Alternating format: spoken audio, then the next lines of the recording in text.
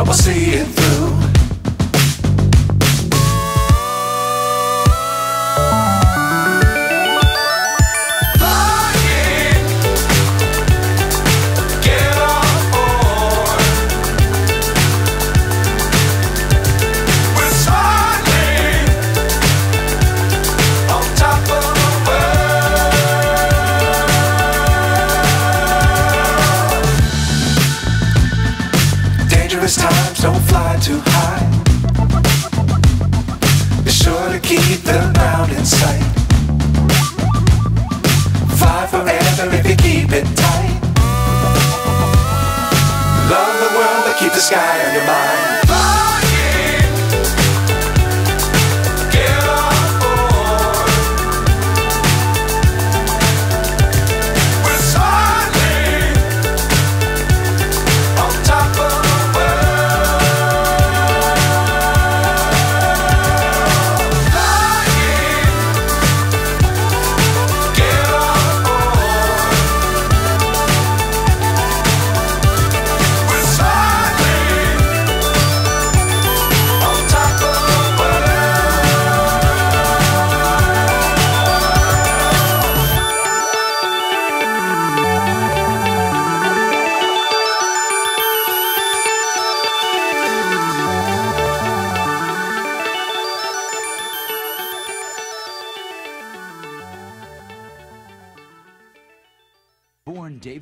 Cassidy on April 12, 1950, in West Orange, New Jersey.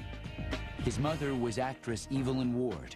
His father, Jack Cassidy, was an up and coming song and dance man who was beginning to make his mark on Broadway. David first saw his father perform when he was three years old. He was doing a show called Wish You Were Here. I remember saying, That's what I want to do. That's what I want to do. I just knew what I was going to do be an actor. He had listened to his father's recordings since he was a tiny boy, had seen every show that Jack was in, and Jack was a Broadway performer primarily, and just adored the whole aura of show business. David's father spent little time with his young son. Jack was on the road for much of David's childhood. At least that's what his mother told him. David discovered the truth when he was five and a half years old. They'd actually been divorced for over two years, and I didn't know. I had kids on the block that were teasing me that were older. and said, hey, your parents are divorced. I was like, no, no, no, no, they're not. I didn't exactly know what divorce was, but I knew it wasn't good. My dad came and picked me up. I said, oh, by the way, we were talking about stuff. By the way, Dad, are you and Mom divorced? And he looked at me like this. He went, yes. And I went, and my whole body started shaking. Not only were David's parents divorced, his father had already remarried to actress and singer Shirley Jones. He brought David to the apartment, my apartment in New York, and he introduced me to this beautiful, beautiful boy. I mean, he, he looked like an angel, you know, uh, one of the most beautiful children I've ever seen.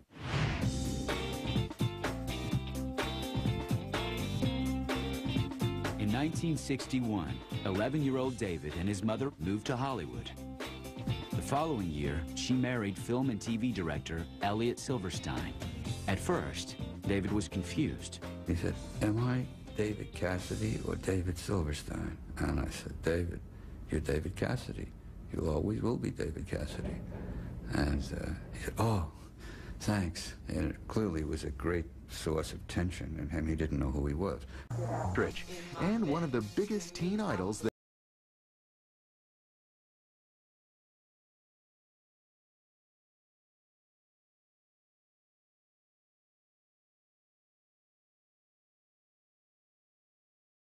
David Cassidy. David Cassidy. David Cassidy. David Cassidy! Let's do it.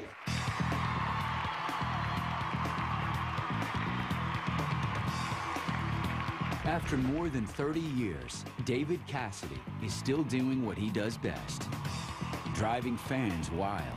He's a real showman. And he's gorgeous, too.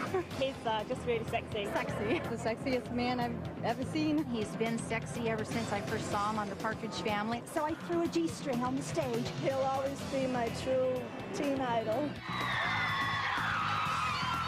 Many of his fans have supported him ever since 1970, when Cassidy first became famous as Keith Partridge, lead singer of TV's The Partridge Family. How big was he? Believe it, but as much as he loved rock and roll, David considered acting to be his future. His father and stepmother let him move into their New York home, while the 18-year-old hit the casting circuit, trying to find his first acting job. In 1969, he was thrilled to get a supporting part in a new Broadway musical, The Fig Leaves Are Falling. I knew what I wanted to do two weeks after I graduated from high school. I was back in New York he wanted to be an actor. I mean, he wanted to, to be like his father, you know. The influence that my father's career, in terms of uh, being taken seriously as an actor, starting in the theater, learning your craft, had a huge influence on David. I had been turned down on my first 200 readings, so when I landed my first job, I can remember the feeling of, of complete elation. Like, feeling validated like you've never been validated in your life. It's an unforgettable experience the first time somebody says, yeah, we want you, we like you, and you're hired. the Fig Leaves Are Falling closed after only four performances. But a casting director saw the show and asked Cassidy to fly back to Hollywood for a film audition. I got the screen test, and people at Universal saw it, and I did a Marcus Welby and I did a, an Ironside. Danny, I've got you tagged as being in on a warehouse robbery Wednesday night. Hey, man, I don't know what you're talking about. I'm talking about trouble, big trouble. Now, the police found a scrap of paper at the warehouse. It was torn off of one of those play sheets I handed out the other night. I didn't hit the watchman mark, I swear it. All I had to do was get them into the place, that's all. I never meant for anybody to get hurt. 19-year-old David was on his way to what he thought would be a career as a dramatic actor. And within a year, I did 10 leads in television shows that were on dra dramatic shows. It seemed as though everything he auditioned for, he got, you know. And so he was working a lot in television uh, at that point, uh, doing guest shots. I was a serious dramatic actor, and my path was carved that way. But in 1970, David was surprised to discover that his manager, Ruth Aarons, had submitted his name for what Cassidy considered a lightweight TV sitcom. I got a call on this film, uh, this pilot called The Family Business. I read it and went, I can't, I got six lines in this. What do I do? But I went and auditioned for The Family Business. I became The Partridge Family. The executive producer came to me uh, one day and he said, Shirley, um, how do you feel about your stepson, David Cassidy? I said, he's wonderful. You know, he's very talented, and I think he'd be perfect. I walk on the stage, and I see Shirley Jones standing there. She looks at me, I look at her, what are you doing here? I said, no, no, what are you doing here? And I said, I'm playing your mama. he said, you are? I said, yes, I'm Shirley Partridge. And he said, well, they didn't tell me. he nearly fainted. Coming up, everyone profits from David Cassidy, except David Cassidy. At the end of four years, they sent me a check for $5,000, but I later learned that it was a half a billion dollars.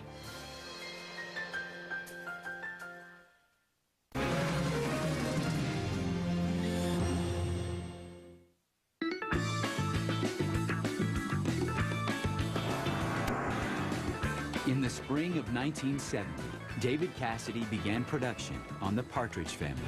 The series was loosely based on a real-life family singing group called the Cowsills.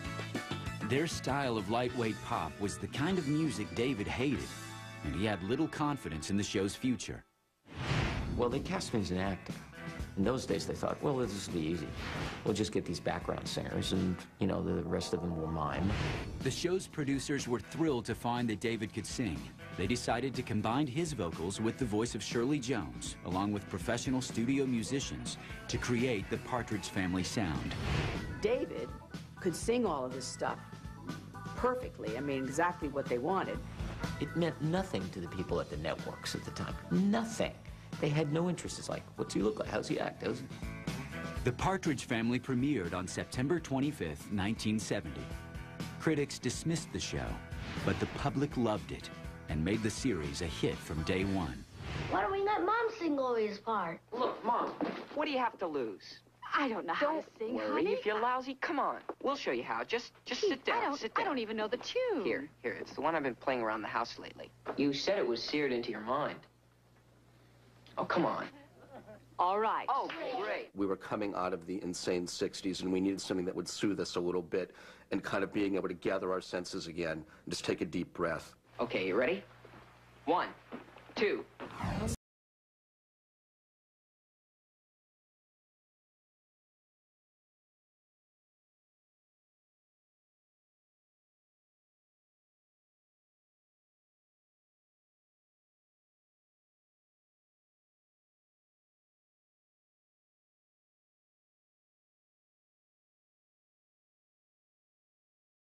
kind of an uh, interesting blend between being like a little, a little goofy and campy. It has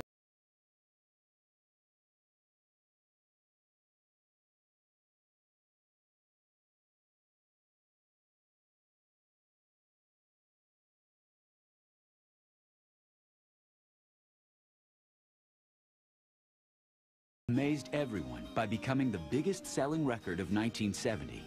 A generation yearning for escape from political upheaval and war in Vietnam, found it in the handsome young man with an easy voice and charming presence. I think I love you. I think I love you. By the end of September, I had become the most marketable person in television. And with kids between 7 and 29, it was getting 90% of the audience that were watching television.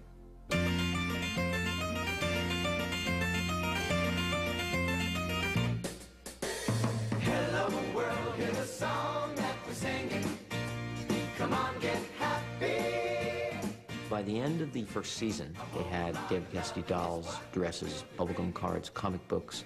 There were magazines, books, guitars, all of which I hadn't seen and hadn't approved. He felt he was selling out, is what it was. I don't think he loved having his picture on lunchboxes. I, I don't think he liked the David Cassidy puka shells, because if David Cassidy said it twice, it was a slogan on a T-shirt. If David Cassidy wore it once, it was the outfit of the day. David was being paid a flat rate of $600 a week. He received nothing from his records and nothing from the merchandise generated by the Partridge family. It is a very sleazy business. Where there's money to be made, there's greed. So you just have to be as well protected as possible in order to deal with that, you know, and usually um, artists starting out are not protected because they look to those people to, to protect them. But Screen Gems Television, the company that produced the show, didn't realize David was a mere 19 years old when he signed his contract. In 1970, the legal age of consent was 21. Since David's parents hadn't co-signed, his contract was null and void. Now that his show was a national sensation, David's manager renegotiated his contract. I became a profit participant in the show. And I was supposed to receive 15% of the net on my merchandise. And at the end of four years, they sent me a check for $5,000. But I later learned that it was a half a billion dollars. David would only see a tiny fraction of the fortune he was generating for others. And for Cassidy, who loved authentic rock and rollers like Eric Clapton, it was painful to be marketed as a pop idol. He craved the credibility that he didn't have, that he wanted. Um, being on the cover of Life magazine is a huge deal. But being on the cover of Life magazine as a pop star and a teen idol and cotton candy phenomenon wasn't what he wanted. I hated it from the beginning. I went into teen magazines, to 16 magazine and Tiger Beat, and said, look, I want to be a teen idol. I'm an actor. This is what I do. I don't want to be this guy. And they went, sorry, pal. They own your name and likeness, and we're shooting you on the set, and you can either roll with it, because you're selling our magazines, or not. David had as many challenges on the set as off. The Partridge Family's bass player, 11-year-old Danny Bonaduce, didn't know how to play his instrument. So I'm playing and playing and playing and playing. And finally, it must be like the third episode, and Cassidy comes up and he goes, It's a bass. You pluck it. You don't strum it. Can you pluck it? I went, Yeah, man, I can pluck it. Please don't hurt me. David also had to deal with Bonaduce's erratic behavior, which stemmed from his troubled childhood. Never be showered and uh, show up, fall out of the car because he eating it to sleep. But he was funny and uh, he was a good guy, a good human being underneath all of that madness and neurosis. David Cassidy was like a big brother to me in the best possible scenario. Even at 10 years old, I knew there's something about that guy. You're so dumb. You have to brush your teeth by the numbers. You know, you're uh, getting to be quite a little man.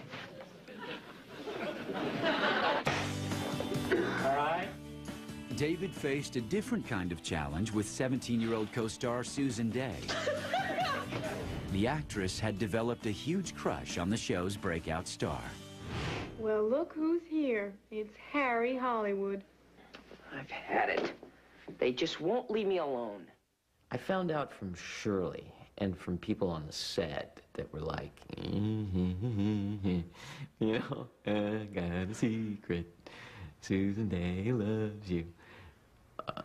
What? No. Cut it out. Shut up. Absolutely not. I mean, she was like my sister. And um, that's the way I always thought of her. I loved her. But while Dey pined for her unavailable co-star, David faced his own emotional struggle as he tried to cope with his overnight fame. Cassidy needed a mentor. He found one in his stepmother, Shirley Jones, who'd experienced a similar swift rise to celebrity 15 years earlier as the star of the movie Oklahoma. We became very close when we did The Partridge Family. That's when, on an adult level, we became real good friends. She taught me a lot about how to handle fame and a lot of the media and how to conduct yourself as a professional. You know, so many girls seem to like me because of the record that I didn't know who I could believe. Well, I think you should trust your own instincts. You find out pretty quickly when a girl likes you for yourself. But it would take more than Shirley's support for David to get through his first live concert in October of 1970. Ladies and gentlemen, boys and girls, David Cassidy! I was on the stage for 10,000 people. They announced, uh, you know, yeah, ladies and gentlemen, David Cassidy will be on here. You know, it was like, what? At first I laughed and then I went, is this gonna happen? Like everywhere I go? It was bizarre to step back sometimes and look and see my best friend from junior high school, center stage, with the spotlight on him, with thousands and thousands of screaming young girls with all their attention focused on him, you know? Then afterwards, sometimes we'd sit back in the hotel room and it'd be like, gosh, is this a dream? David Cassidy would become the highest paid, most popular solo artist in the world. But inside, he was scared to death. After the break, They turned six limousines over. I had to get out in the trunk of a Toyota, and the limos were decoys. So it really was, in those days, hysteria.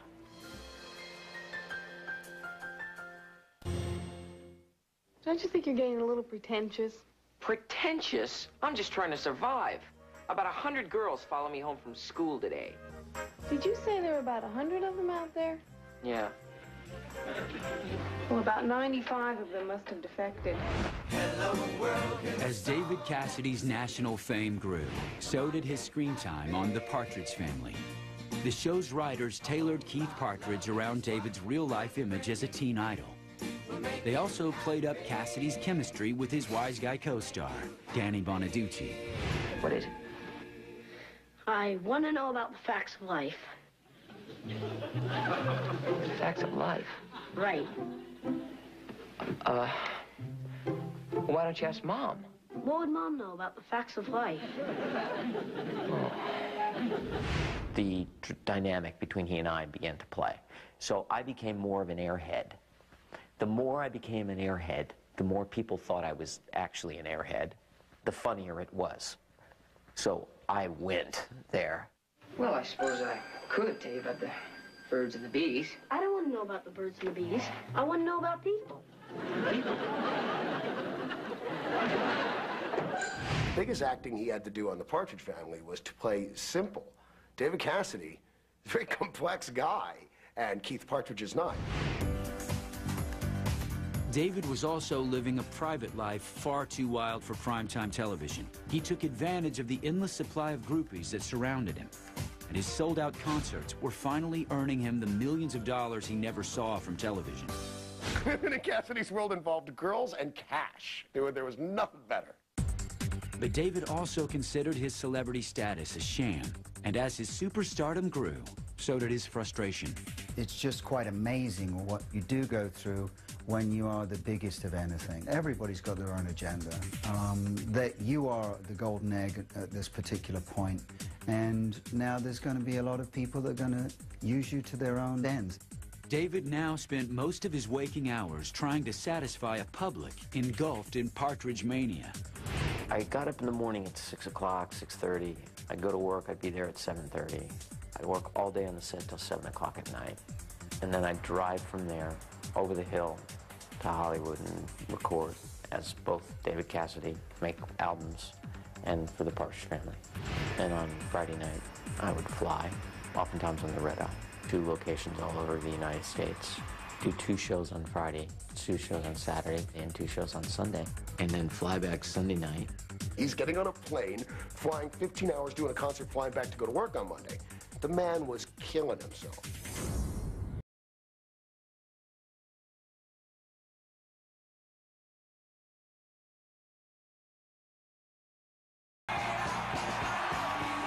David was selling out the biggest concert halls in the world. On March 11, 1972, he headlined a sold-out show at Madison Square Garden. After the performance, his fans staged a mini riot.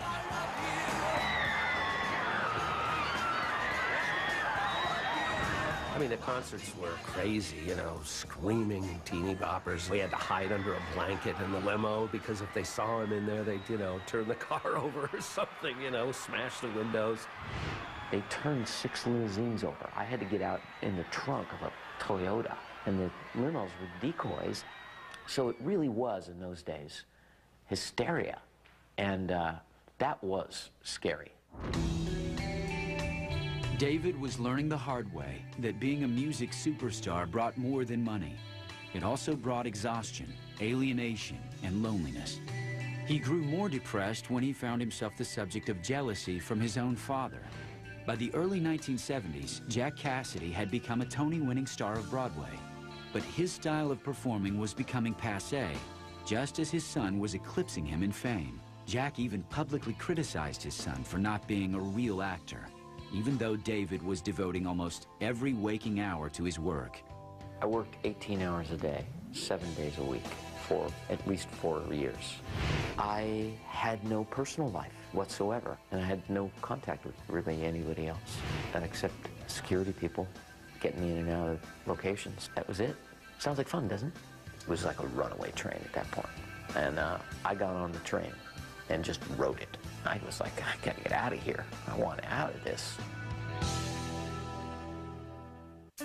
Next, David Cassidy finally speaks out. People were out of their minds. We're doomed. He says he has sex. He says his fans leave sticky seats. It was a huge deal.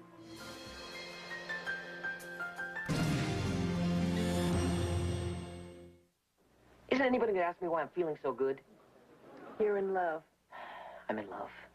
Still or again? With yourself or someone else? This family has no heart. By 1973, the Partridge Family, now in its fourth season, was showing its age. And when ABC programmed the series, opposite the cutting-edge hit sitcom All in the Family, the ratings plummeted. But the end couldn't come too soon for David Cassidy. As much as I've loved being in it, I don't want to do it anymore. I'm, you know, I'm out on tour all over the world and I was burnt. You know, this was now going on five years. At a time when Led Zeppelin and Pink Floyd topped the charts, Cassidy was eager to become an authentic rock musician and a serious actor. To speed along the transition, David gave a controversial and shocking interview to Rolling Stone magazine. David's decision to do Rolling Stone was his way of reaching out and screaming for help to say, get me out of this teen idol land. Accept me as a true rock and roll star. Here I am, here's all of me. People were out of their minds. We're doomed. He says he has sex. He says his fans leave sticky seats. We're doomed.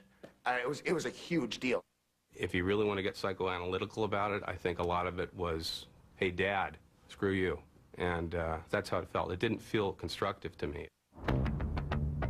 Putting the Partridge family behind him also meant saying goodbye to his co-stars, among them Susan Dey. The night the show completed its 96th and final episode, David and Susan went out to dinner. That night, he learned that Dey had been nursing a five-year passion for her television sibling. Parked out in front of her place, and um, she told me how she felt. And I was like, so it was never the same. And I never, because I didn't respond in the way that I wanted to, but I, I didn't feel that way towards her. Um, and I loved her. I loved her. But we were forever connected by those years in that television show and the impact it had. In its four years on the air, the Partridge family had generated 11 albums, five gold records, and seven hit singles. And as a solo artist, David Cassidy had recorded four albums that spawned three hit singles.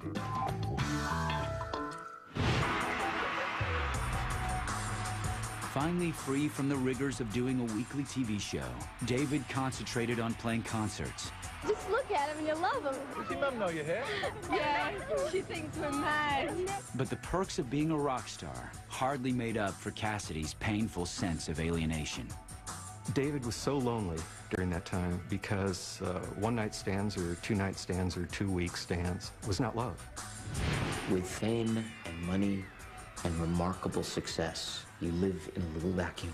And your choice is become Elvis, become Michael Jackson, or to be a human being and live like a human being. But in order to do that, you got to make the choice to sever it and to stop and no longer to perpetuate. And not to perpetuate it means loss of career, loss of fame, loss of income, loss of attention. Big choice to make for a young guy. With nearly $8 million earned from concerts, David's choice was to retire. I'm uptight, I've got things and phones ringing and people hassling me, and I just as soon not do that, you know. On May 26, 1974, during what he announced to be his final tour, David was playing London's White City Stadium. The crowd surged toward the stage. 650 fans were injured. Like a war zone or something, you know, all these girls laying there. One concertgoer suffered a fatal heart attack. A 14-year-old schoolgirl named Bernadette Whelan. She had a heart condition. She was a huge fan and got so excited she had a heart attack and died. Now, I became sort of a villain from it in the media and the press. I did not personally act irresponsibly. She wasn't in the front. I don't think she was injured. She was on the sides. And I think just from the excitement of it all, she just had, a, I think, a heart attack. I called her parents and I said, I don't want to come to her funeral and create a circus atmosphere for you because I didn't know her. But the fact that you know that I'm aware that she died at my concert, I feel for you as parents. And they cried and they blessed me. And they said, you know, all she wanted was to see you. And that meant a lot to me. I don't think he ever fully recovered from it. When the, when the girl passed away, he, not only to take responsibility that I don't feel was his, um, and uh, he never recovered from it. Broke his heart. He knew it, it wasn't his fault, but he couldn't help but feel so bad that it was like, I've had enough. After the break, Cassidy begins a downward spiral. All of a sudden, nobody wanted him. Nobody called for him. Getting a job in show business, being taken seriously as an actor, not a chance.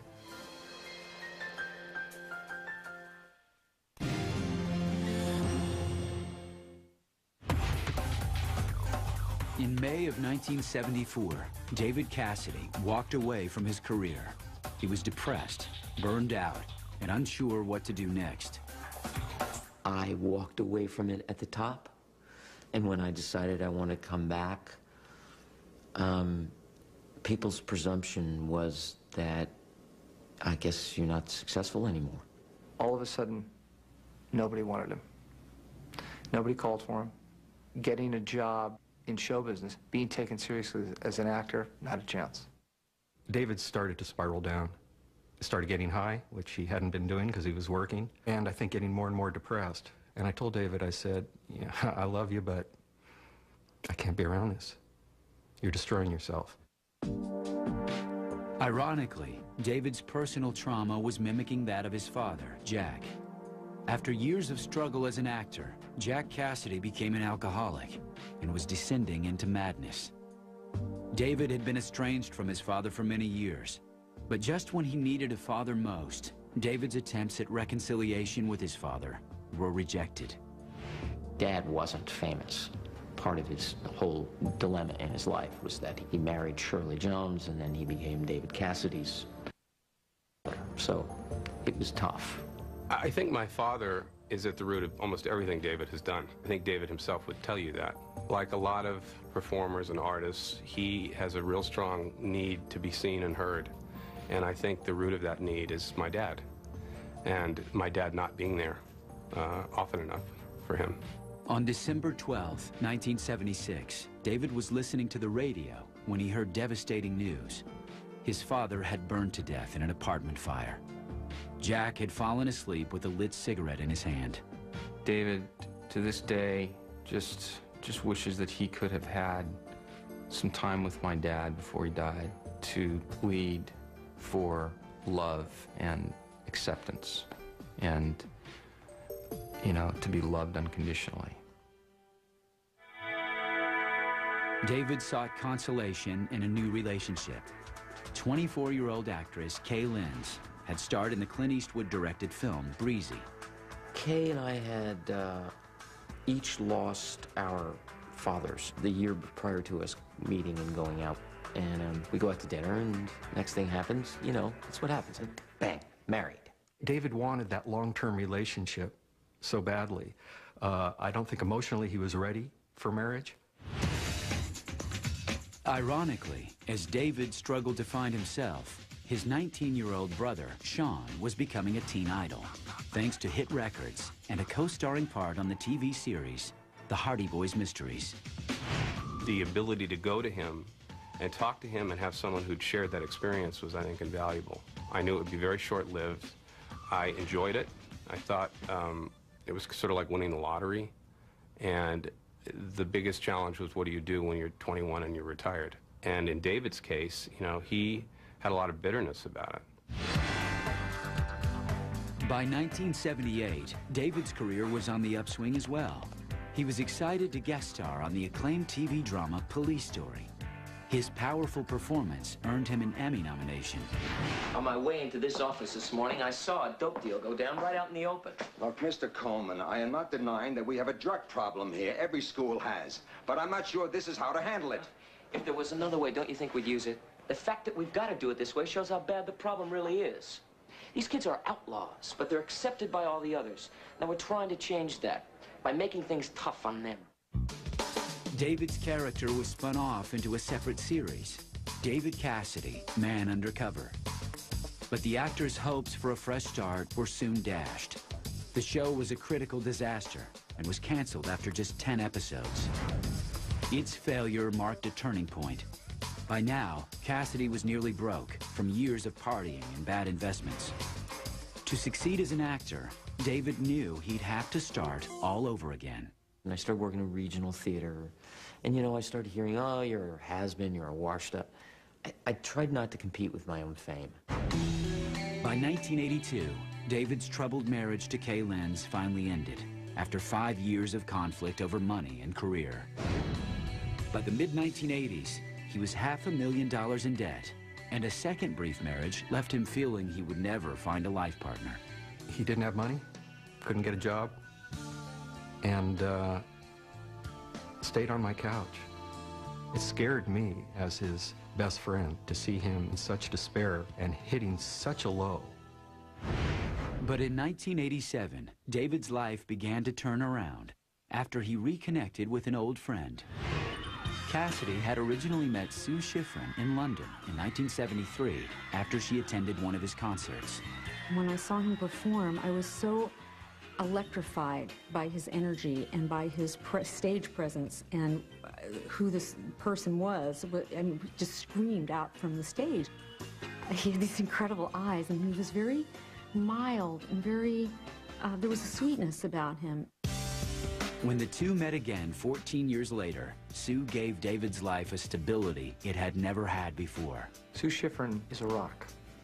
She has been there for my brother 150%. And let me tell you something, it's not easy. At one point, she said, well, if you're not going to get it together, then I'm out of here. And I went, no, wait, don't go. I really like you. I really do want you to stay. Sue and David moved in together, and in 1990, the 40-year-old actor faced another test of his maturity. She walked into my office and went, I'm pregnant. I went, no, you're not. You're, you're hallucinating. Come on, let's go take the test. It's obviously a mistake. Let's go in there. We go in there and we both go, oh my God. With a baby on the way, Cassidy was motivated to go back to the recording studio and try to relaunch his music career. Fortunately, Sue was a successful songwriter. The pair teamed up to create his next album. The result was Lying to Myself on Enigma Records.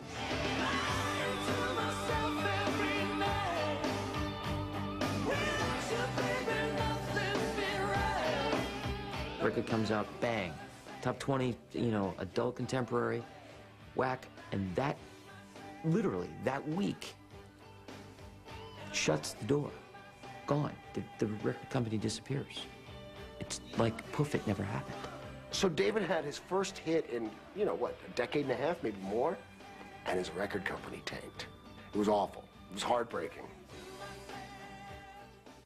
Still ahead, two Cassidy half-brothers team up in Blood Brothers on Broadway. I said, you know, we'll be telling our grandkids about this. Come on. Gotta do this.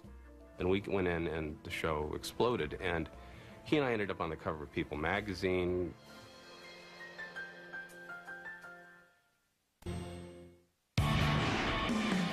After coming so close to a comeback to his place as a successful singer, David Cassidy refused to give up. In 1991, he put together a profitable music tour. 1991 also brought profound change in David's personal life as he and Sue Shifrin celebrated the birth of their son, Bo. We decided at that point we should get married, and uh, it was the right thing to do. And uh, 17 years. My, it flies by when you're having fun, doesn't it? By 1993, 43-year-old David was also hungry to return to his first love, the stage.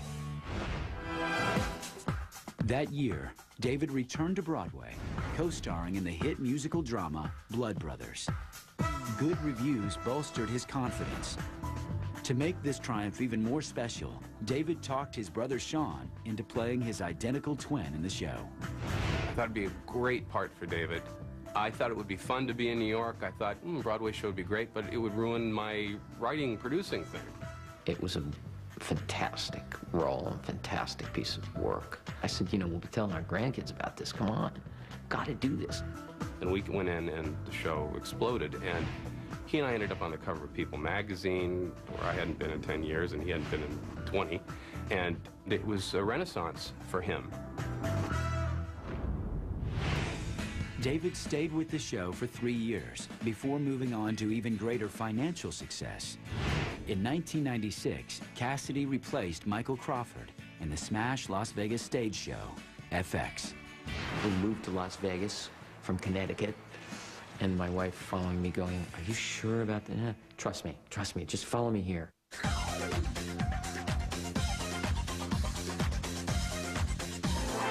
The show was a huge hit, and he did it every night for two and a half years, and then he decided to do another show, which was The Rat Pack is Back, that he wrote and produced. David headlined three shows in his five years in Las Vegas, earning a fortune in the process. He also proved himself to be a rock-solid box office draw. But by 2001, Cassidy was once again ready to move on. I just didn't want to end up being Mr. Las Vegas. You know, when people started walking up to me calling me the new Mr. Las Vegas, I went, time for me to go now. Hello world is a song that we're singing. Come on, get happy. But David remained hooked on performing for audiences and embarked on a successful career as a headlining concert artist. I had a dream about traveling with them. Spirit a little love and then we'll keep moving on. Something always happens whenever we're together. Get a happy feeling when we're singing a song. He still loves us after all these years, and we love him. We can come here and for an hour, an hour and a half, and we can be 15 again and not have to worry about, you know, my house and my kids. Always puts on a good show, never lets anybody down, and gives 110% to the audience. I believe that they're reliving their youth through seeing David today. And that seems to really strike a chord with people as far as just getting out and seeing the show and really enjoying it. I have got to say that he's got some of the most loyal, diehard fans of any of the stars I've ever worked with. Instead of like throwing love beads, they throw like bras and G's and things. You know, it's pretty wild. A lot of people, the first record they bought, the first concert they went to, that show that I was on, I had an impact on them early, and that is indelible forever. You never forget that one.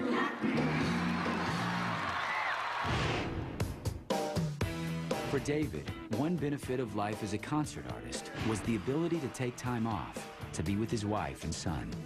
It's important for me to do all the things my dad didn't do. My dad came to one Little League game of mine, never came to a school event.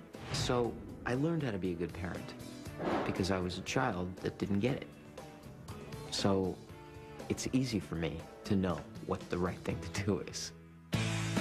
David Cassidy has evolved from a reluctant purveyor of bubblegum pop into a successful stage actor and concert performer.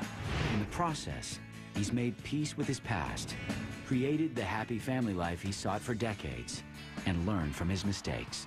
I think David's the happiest that now, right now in his life than he's ever been. He has a lot of my dad. As much as David misses my father to this day, my dad gave him a gift, and that is this gift of incredible talent, a need to keep going. I think I love him more now than I ever have. The more I know him and the more um, life we live together, the more I appreciate him and the luckier I feel to have him in my life. I just love to entertain people. I love to make people laugh. I love to just let it go and reveal as much as I can about myself and have a great time. Come on, get happy. He isn't running from Keith Partridge or running from his early success. He's embraced it. And I think that that's healthy for him. It's almost like another guy. You know, it's another lifetime. Keith Partridge. David doesn't live there anymore.